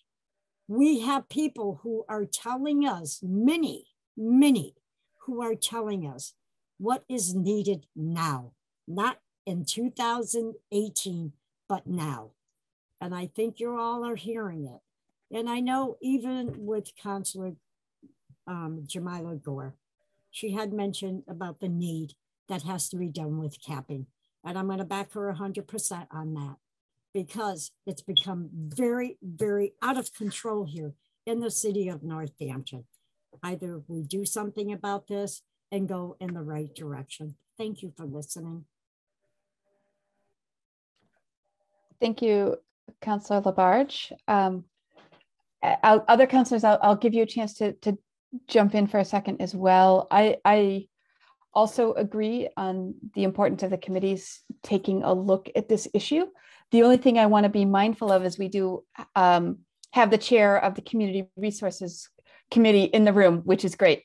Um, so uh, something for us to consider is either either a joint meeting like we did, and I'd love to hear thoughts um, uh, about a year and a half ago regarding the issue of homelessness. My concern is that that sometimes when we invite a lot of people, it can become slightly unwieldy and give us less of a chance to dive into the issues. Or we could consider um, speaking with Northampton department heads and employees um, to your list, Councillor LaBarge, I would add Sean Donovan from the Department of Community Care as well. Um, and then um, the Heather Warner and Ananda Lennox, who are with Spiffy, may may be more appropriately under the purview of um, Community Resources Committee. Um, but Councillor Perry, as, as you're here, I don't want to put you in the spot because you haven't met with your committee yet, I don't believe, but I just wanted to put that out there. Yes, so I think, and, and um, you, you put it well, is that I think we should really focus on some of the city services, um, you know, department heads and whatnot in this committee. Uh, my plan after meeting with the vice chair of community resources is to offer a look at some uh, community-based organizations, but also um, maybe see if I can get um, people who represent the dispensaries. Um, you know, while we've had heard some some people who have had outcry, we have to remember that we are a large city. Um, you know, we have close to 30,000 people here and, you know, the, the amount of people who have spoke up are nowhere near that. Um, so there's a lot of people who haven't spoken and one side of the community are the people who are running these businesses. Uh, I know while some of them are from outside of this city, there are a number of folks who are running dispensaries who have run other businesses here, other restaurants, other other establishments. So I think that my plan for community resources is to reach out to those folks. I did have Sean Donovan kind of earmarked, but I feel like he could work on both. Um, one of the reasons why I would like him in community resources is that a lot of what his focus has been is on outreach and education about substance abuse. And so I think that he is uniquely suited to fit in both, um, you know, both for working for the city, but also being really intimately entwined with um, with that. So that, you know that's that's where I am. I think that having I don't think a joint meeting would serve our purposes well. I think it could be just a long, kind of drawn out thing. Um, and I and I also see this as an issue that we're going to, you know, we're going to take into our committees. We can report, and people can go back and digest each piece uh, separately, and then for the broader council, we'll all have more information. Exactly. Thanks, Councilor Perry. Yep. Um, Councillor Gore, did you want to weigh in? Um, I just, I think, I, I think both Councilor Perry and Councilor LaBarge have good ideas about how to proceed with the discussion. Um, so then Laura and I, based on, on what I've heard, um, and, and Sean may just be like the guest of the hour, but um, we can work together to reach out to um, Chief Kasper, um, Commissioner O'Leary, whether it's her or there's somebody more appropriate from the health department. Kara, I see you here, so I'm gonna come back to you. Um, Sean Donovan, and then also um, the Board of Health. Um, in the meantime, counselors, if you have somebody you'd like um, to hear from as well, reach out to, to Laura and I as we put this together. And Kara, I'm going to guess that you have some information that may be relevant. So I'm going to come to you and then back to you, Councilor LaBarge. Yes, question. Um, so what you're saying is that you you do not think that we should have um, from Spiffy to come into um, city service to talk with us when they have so much research being done that I think is very valuable? They have they have tremendous resource and access to information, but I, I think in the purviews of the committee, um, that that Spiffy would fall under the Community Resources Committee as they're not a city oh. service. Um, but I, I absolutely uh, Councillor Perry will put that plug in that we should be hearing from Spiffy. And I know they I so. they have a data sharing event coming up at the end of September. Um, I just saw that email today. Right, because they do so, yes. work under the city. Yeah. Um, yeah. No, they're they're separate. Uh, Karen, it, what's what's relevant? What you got for us? Hi, hi. I'm Kara McLaughlin. I work for the City Health Department, and I run the Northampton um, Prevention Coalition, which is a primary prevention coalition. And so currently, I'm I wasn't intending to participate as a city member, but I don't think I can take that hat off at this moment because I also live in Florence, 241 Spring Street, and have a third grader at Leeds. Um, so, talking with my city hat on, this is unofficial, um, me commenting, but there are. Um, Commissioner O'Leary and I ha- are trying to get together, and um, Heather Warner from Spiffy and Caroline Johnson, the epidemiologist there, are hard cr crunching numbers from the data, the prevention needs assessment data that was um, delivered or administered in 2022 um, this past spring. And um, so that is in process. There's a lot of kind of policy around who can share data, and we have to make sure that we're making on the up and up of making sure that we've crossed our T's and dotted our I's around who's getting what data and how and um, with the superintendent. And um, what else should I say? And I just wanted to say that like the teen health survey data is a survey that goes to 8th, 10th, and 12th graders. And, you know, in um, in um, centering equity, we want to make sure that like survey, we there's a there's um um bringing awareness to not putting too much stock just in these checkbox survey data. It's very important, but it's not the be all and end all of what is actually happening for young people in our community. And I'd also like to say that Spiffy's been going through a really deep um, needs assessment that includes focus grouping with young people and parents this past year. And that the Northampton Prevention Coalition that we've been meeting with young people in the school system. So there's a lot more than just finding out what the per, the um, prevention needs assessment says, which I think so as we're all kind of waiting for the data, I mm-hmm. think it's a bigger conversation of lessons learned from other states and what's happened, mm-hmm. who've been doing this for had this happening for longer, and also to um, to look at how other substances have impacted communities over time. So um, to be continued, I guess is the the short answer. So, but there is a lot of really hard working, intelligent um, people that care so much about these subjects, including Sean, who I share an office with, um, Sean Donovan. And so, um, yeah, we really hope to have a really robust, uh, transparent conversation with all of you. Thank you, Kara, for jumping in. Thank um, you. Yeah, appreciate it. That's our hope as well. So um, you know, the conversation is to be continued. Um, no great conversation Yeah, totally. So to be continued. and I think- um, yeah, and just I think sometimes I may come on with my kind of resident parent hat on, and sometimes I'll come on with my Department of Health and Human Services. And right now it was like kind of an unofficial Department of Health and Human Services. But I knew that you were all talking about this and felt silly to not to, to give you some information that's happening. thank you. That was helpful. Thank you. Yeah, thank you so Yeah. much.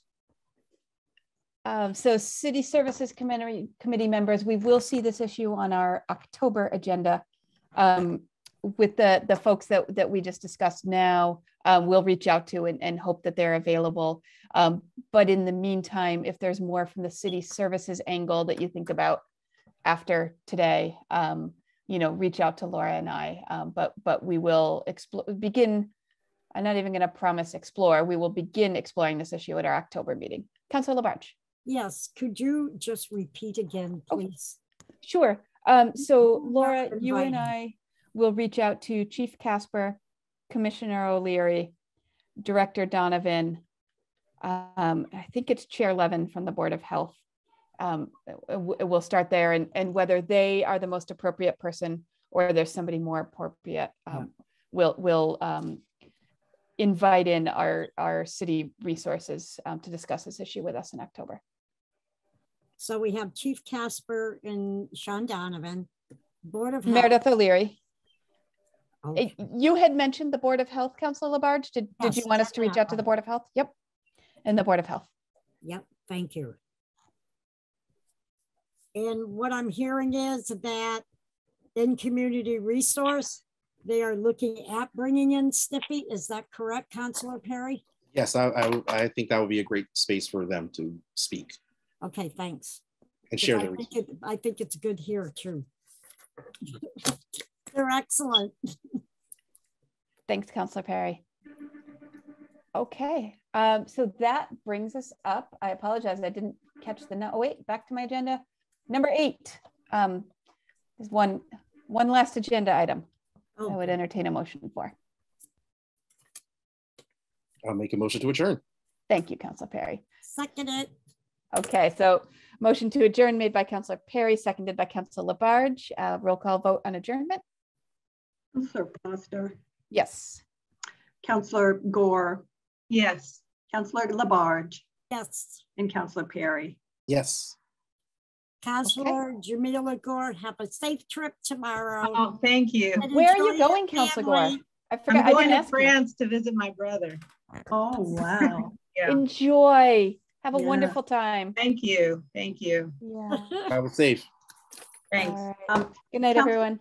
Counselor Foster, I just wanted to Yes. mention Legislative Matters has rescheduled their October meeting because they were, it fell on Columbus Day, Indigenous Peoples' Day. Yes. They're proposing to meet at um, six on October 3rd. So I'm just, you know, it's, it's just occurring to me, generally these meeting, let city services only meets for an hour. So I was thinking that that was going to be okay. Wait, I'm wait, just wondering if I should either ask them to meet a little later or if it's possible that this committee could meet a little earlier. So it's just, as of now, they had to reschedule because of the holiday. And they have a public hearing which hasn't been advertised yet. So I can still change the time of their meeting. They have, oh, what is it? Um, the Prince Street rezoning. Yeah, that's the hearing. That might draw some people. And they have the Um, parking regs Counselor- up- update. That's the other thing. I thought they had their schedule for September 19th. It's not on their agenda. Well, that's community resource. They, they do have a meeting Community September resource. 12th, but that's But got, ours is October 3rd. right, Right. but um, legislative matters was supposed to be October 10th, but had to reschedule. So we had They're just moving there. Yeah. confirmed, yes, Yep. but. So we're um, not looking at us. We're. No, we, Right, I'm just yeah. hoping that, you know, an hour ordinarily would have been enough time for city services and I, Yeah. Judging by tonight, it might not be. Um, so, Counselor Perry, uh, we were meeting at five with um kid pickup schedules. Is that is we so our choices are either for us to meet earlier um or to ask legislative matters to meet later.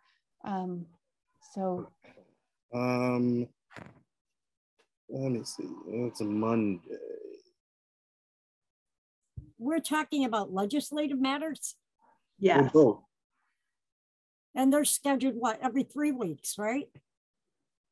It, it's just they're trying to reschedule their October meeting because They're just the conflicts second Indigenous Monday of the month. Day. So Oh, I, oh, I because can, of that holiday. All right. Yeah. I can be here. I just have to, I don't have to drive carpool on Mondays. I just have to drop off and the drop off is at four at the bowling alley. So I can get back. Oh, Like, Could little- we, could we meet at four thirty so you don't have to I could, Yeah. do yeah, a land speed record? Yeah. Four thirty? I think that should work for me. Maybe they could move back till six Wait a thirty, minute. but Right. If we go up to four thirty and they go back to six thirty, Laura, is that a Okay. reasonable day for you yes, as a human? Okay. that's fine, As a yeah. person. like, yeah. Two subcommittees equals one council meeting, Okay. sort of, Okay. yeah, that's fine. Question, please. Yeah. Counselor Foster. So we're looking at doing it instead of five, four thirty, our meeting. And Four here we thirty have- on Monday, October third. Okay, Yes. right now we have people coming in on a roundtable also. Right. So Right. how long will our, our meeting be scheduled? Looking at what we did tonight on surveillance cameras and so forth like that. You're looking at tonight, we did a two, what, two hours and mm-hmm. five minute meeting here? Yeah, we're, I, so if what Laura's saying, if, if legislative matters can meet at six thirty, that would allot two hours for our meeting. Okay, good. All right. Yeah, to I make don't- sure I we- don't want us being rushed on that. No, I don't either. I want to make sure we have enough time and we can always continue it if we need to. Um, or, you know, but, um, we'll, I, I think two hours should do it. So we're looking at four thirty? Four thirty. Okay. Oh, Okay, thanks for having, for troubleshooting that, so we don't have to Oh, totally thanks for flagging it, Laura. legislative matters. Appreciate it. Gotta do what we can do. Yes. okay, great. And I'll contact Alex Jarrett. I think I'd rather go bowling. Yeah. All right, Bye, everyone. All right, everyone, have a good Good night. Thanks so much. Good night, everybody.